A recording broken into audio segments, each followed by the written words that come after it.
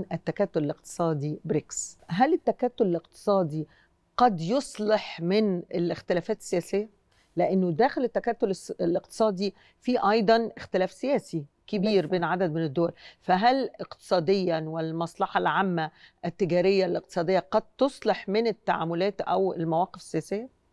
بالفعل ده اللي هيحصل. إحنا شايفين إن السعودية وإيران شايفين مصر وأثيوبيا وأكيد في ملفات شائكة ما بين الدول إن كانت سياسية أو جيوسياسية أو خلافه. فبالطبع هو فكرة التكتل الاقتصادي هو إن أنا أزيل كل المشاحنات السياسية ما بين الدول. أبتدي إن أنا أفكر في المصلحة العامة وأبتدي يعني أكيد الصين تمام فكرت مين الحليف بتاعها أكيد روسيا فكرت مين حلفائها أكيد السعودية فكرت إن هي داخلة مع آه إيران. أكيد مصر كمان فكرت إنها داخلة مع أثيوبيا وبالتالي أعتقد إنها تكون انفراجة في جميع الملفات الشائكة ما بين الدول وخاصة الدول العربية. وتاني عايزة أكرر حاجة إن اقتصاد الصين بينافس اقتصاد الولايات المتحدة الأمريكية وبيجي بعدها في مرتبة الناتج المحلي الإجمالي ويليها عندنا الهند ويليها روسيا. فإحنا بنتكلم على دول ليها يعني كثافة كثافة اقتصادية كثافة سياسية كثافة اجتماعية كثافة فكرية كثافة تقنية. فاحنا بنتكلم إن كل ده هيغير الفكر تماما وهياخدنا لمجموعة يعني إحنا بنسميها على مستوى الشركات مجموعة مرتبطة. من هي المجموعة المرتبطة؟ تعرفها في القانون اللي هي ليها حق التصويت.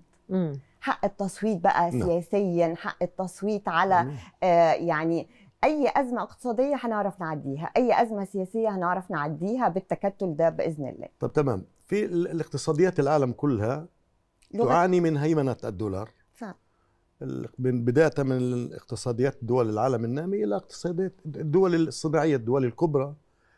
آه، والجميع يعاني من هذه الهيمنة اقتصاديا. وعندما يعاني اقتصاديا يعاني في المناحي الحياتية الأخرى. هذا يؤثر على نمو البلد آه، يؤثر على موازنات اللي بتروح للتربية والتعليم العالي للصحة للبحث العلمي لكل هذه التفاصيل. الآن واضح أنه في سعي حثيث من بين الأهداف الجوهرية لهذا الملتقى أو لهذا التجمع هو التحرر من هيمنة الدولار. ما هي تبعات ذلك؟ علينا كوطن عربي ومن ثم على سائر أنحاء العالم بشكل عام. أكيد هيبقى فيه تبعيات وأكيد هيبقى فيه تحديات لأي تكتل اقتصادي آه، صاعد. وإحنا شفنا خروج بريطانيا من الاتحاد الأوروبي وخلافه. نعم. مفيش تكتل اقتصادي مهيمن وليه قوة آه، ضخمة جدا اقتصاديا ومن مساحة الأرض ومن عدد السكان ومش هيبقى فيه تحدي ومش هيبقى فيه عقوبات كمان ممكن تنفرض على ال- التكتل ده. إحنا هنقدر نعديه إزاي؟ إحنا هنقدر نعديه زي ما قلنا بمساحة الأرض اللي إحنا بنهيمن عليها من العالم كله كمجموعة بريكس. نعم. هنقدر نعديه من الناتج المحلي الإجمالي لمجموعة بريكس اللي هو تقريبا يقارب من ال 26 تريليون أنت دولار. بتحكي عن موارد الآن. آه بحكي عن الموارد ال- ال- لغة ال- المال أو لغة النقد هي اللي بتهيمن. طب خليني أنا أعمل مداخلة وبعدين بتكملي لأنه خطر في بالي أيضا هيمنة آه، ليس هيمنة الدولار هناك الشركة. هيمنة على الموارد تمام. هل هذا سيساهم في تخليص بعض الدول من الهيمنة على مواردها؟ بالفعل بالفعل عندما آه، الموارد بتاعتي تقيم بعملات محلية وتقيم بعملات تبادل وتقيم بعملة تكتل خلاص انتهى إن أنا يجي ياخدوا من عندي المواد الخام ويصنعوها. وياخدوها عندي برقم ضئيل جدا ويبيعوها بخمس ست أضعاف الرقم ده أها ال- الكلام ده خدني ليه؟ الحقيقة كان في آه، آه، تصريح طبعا بعد بعد هذا الانضمام والتكتل خصوصا انضمام مصر السعودية إثيوبيا والدول اللي انضمت إلى بريكس. كان في تصريحات أوروبية كثيرة منها تصريح للرئيس الفرنسي إيمانويل ماكرون وطبعا إحنا عارفين فرنسا أحد أهم دول الاتحاد الأوروبي.